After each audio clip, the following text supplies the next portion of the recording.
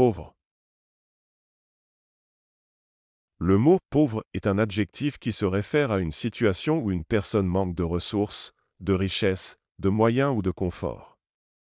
Exemple. Les habitants de cette zone sont pauvres, ils ont du mal à subvenir à leurs besoins. Ces enfants sont issus d'une famille pauvre, ils ne peuvent pas se permettre de partir en vacances. Le pays connaît une crise économique depuis plusieurs années, ce qui entraîne une augmentation du nombre de pauvres.